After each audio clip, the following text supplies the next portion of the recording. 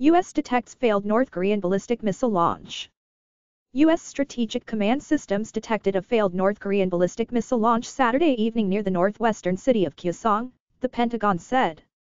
For more details click on the link below.